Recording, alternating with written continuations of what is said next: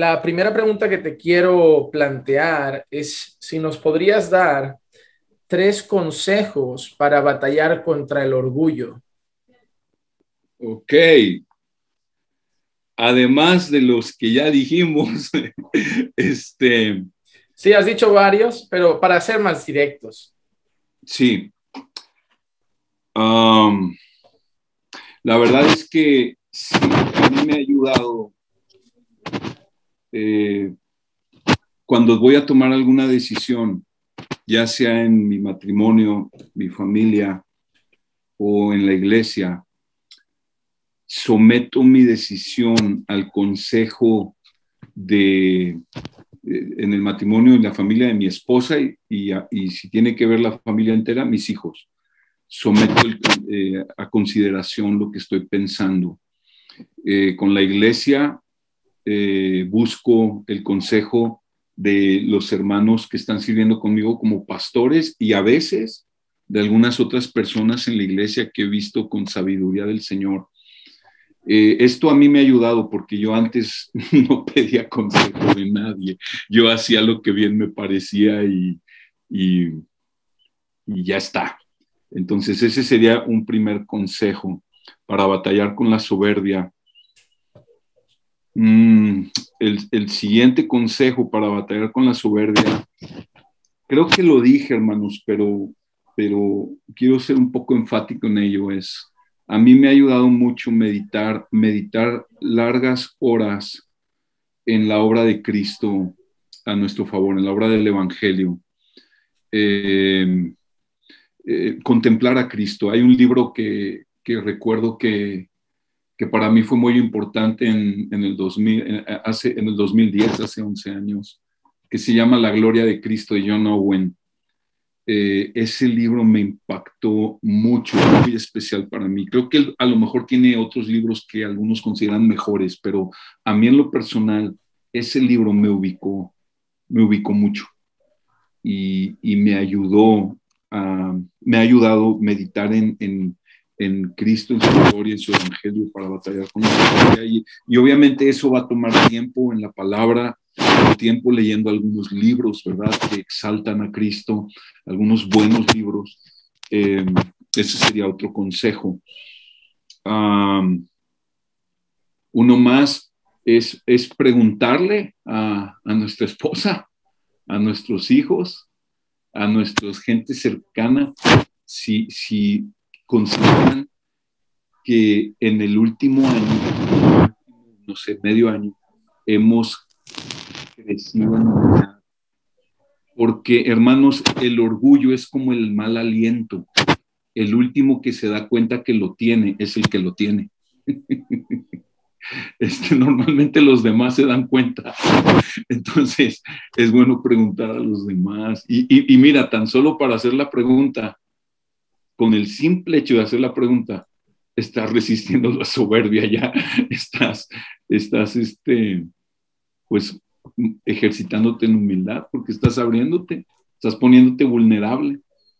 Entonces, esos son algunos otros consejos que les podría, podría dar para traer con la soberbia.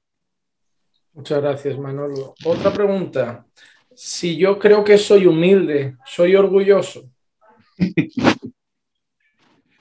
Yo creo que, yo creo que es, es, mira, la, la, humildad es algo tan delicado, tan, tan, tan como, como una paloma en el parque que te acercas y la quieres tomar y ya voló. Este, creo que hubo alguien que, dije, que dijo, voy a escribir un libro. Eh, dice, soy tan humilde que voy a escribir un libro que se va a titular La humildad y cómo la alcancé. O sea, yo creo que la persona humilde ni siquiera está pensando en la humildad. O sea, no está su mente enfocada en, oh, cuánta humildad, o, oh, esto fue muy humilde, o, oh, ¿cómo haré para, para mostrar mi humildad? No, la persona humilde está tan centrada en Cristo y en el prójimo que ni cuenta se da que ha crecido en humildad, o sea, hasta que otros vienen y se lo dicen. Este, pero sí, entonces sí creo que si uno está pensando este, bueno, creo que sí soy humilde, entonces sí creo que ya se está jactando de, en ese momento se extinguió la humildad. Cierto, Cierto. Otra cosita, eh, ¿se puede llegar a pedir humildad al Señor y buscar humildad con motivaciones pecaminosas? Pues yo creo que se puede cuando la humildad es malentendida. Este, a veces la, humildad malentendida es, es, no es otra cosa más que soberbia disfrazada. Eh, hay gente que quiere mostrar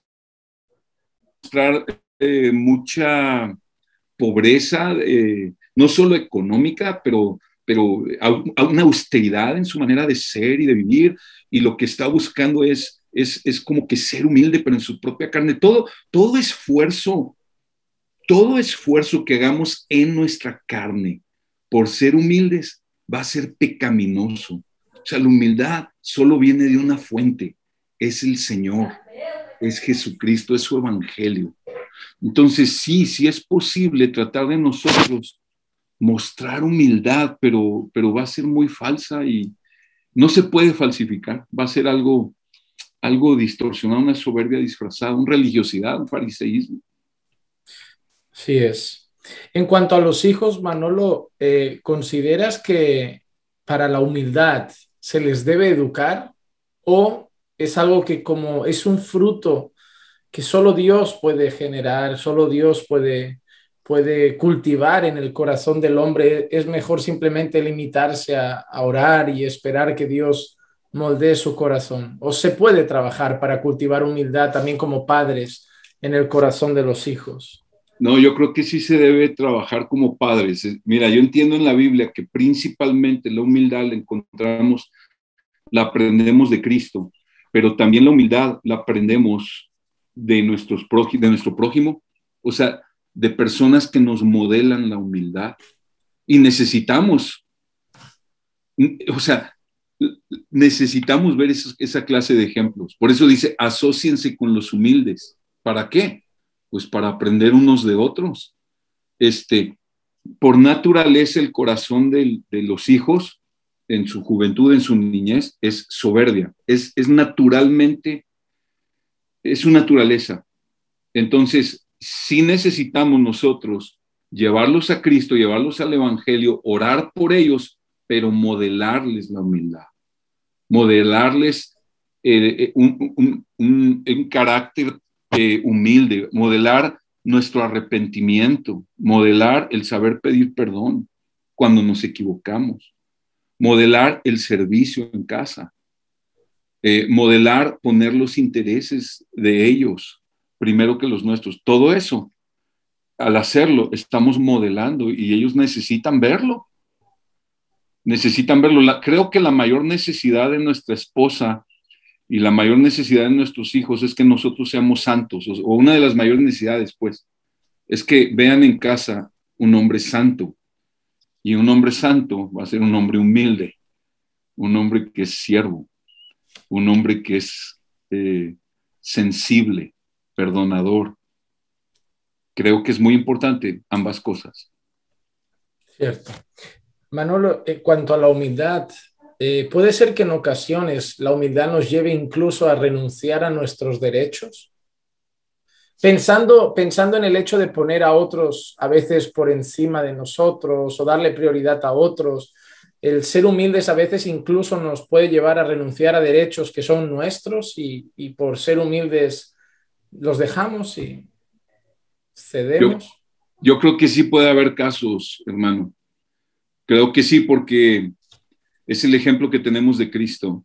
Y, y, necesitamos nosotros muchas veces por, pues yo no puedo pensar en un matrimonio que glorifique a Cristo donde el varón no renuncia en ocasiones a su derecho a descansar o a sus derechos, pues tantas cosas que luego pensamos que, tenemos todo el derecho y en verdad lo tenemos, pero necesitamos renunciar a ello por el bien de la gloria del nombre de Cristo, pero también por el bien del matrimonio y por modelar el Evangelio. Pues el Evangelio es eso, Cristo se despojó a sí mismo renunció, se autolimitó de privilegios para venir a salvarnos y de ahí parte todo. Así es. Has dicho antes algo interesante y yo creo que hay mucha confusión con eso y lo he visto.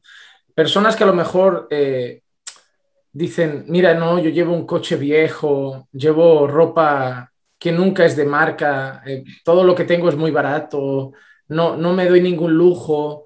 Eh, y, hablabas de esa humildad que se busca en la carne.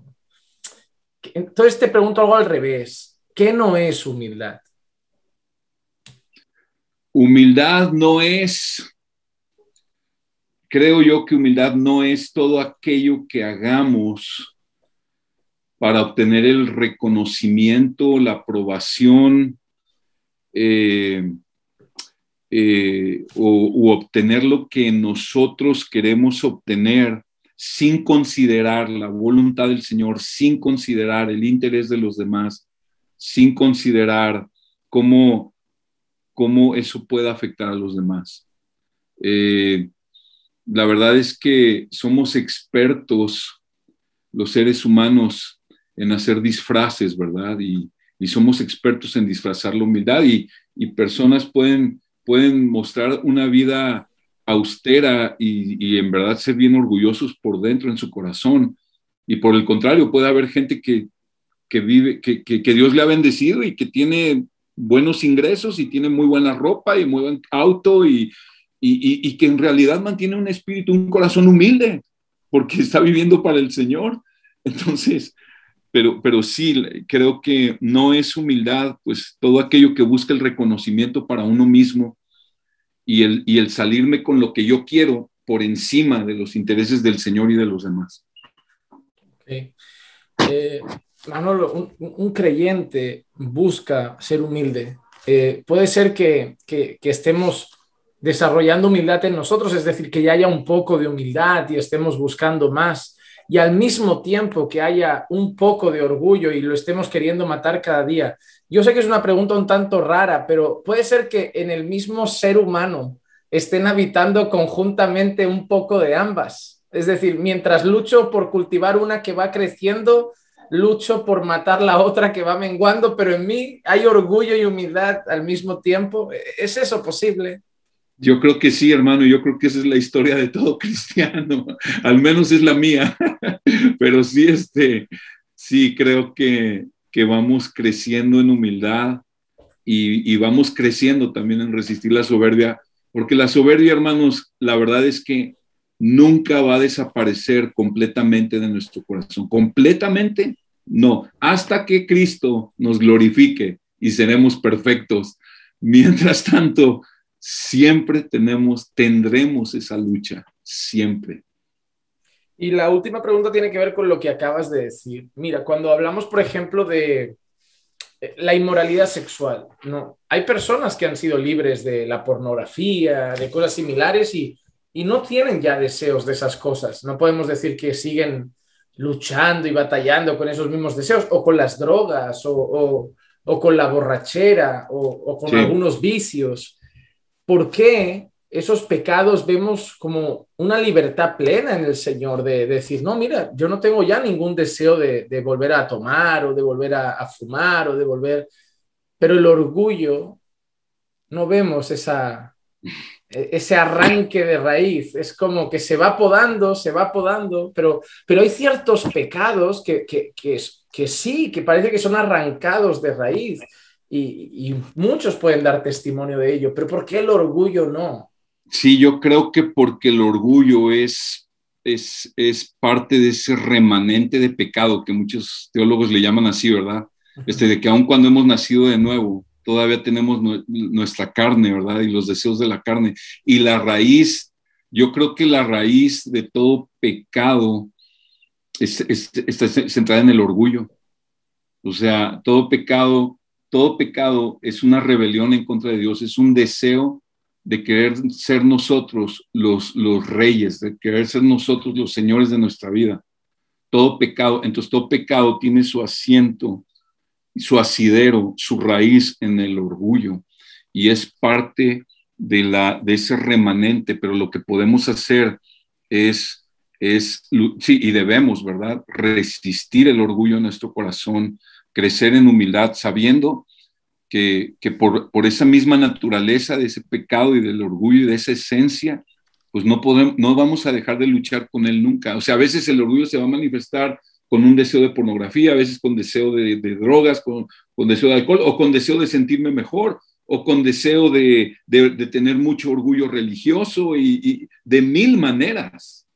Eh, pero creo que está en la raíz de todo pecado eh, del ser humano, ese deseo de querer ser nosotros el número uno en nuestra vida. Muchas gracias, Manolo. Y, ya por último, lo suelo hacer fuera del tema de la humildad. ¿Qué, ¿Qué consejo le darías a estos hombres en relación a la iglesia? Una palabra de, no sé, cualquier cosa que nazca en tu corazón, eres pastor, que, que le digas en relación a la iglesia. Bien, bien, gracias. Pues que me anima mucho ver este grupo de hombres que están con anhelo de aprender más de la palabra, de conocer más del, Señor a través de la Biblia, que sigan haciéndolo, que, que sigan eh, esforzándose por buscar del Señor en su palabra y por servir a su iglesia.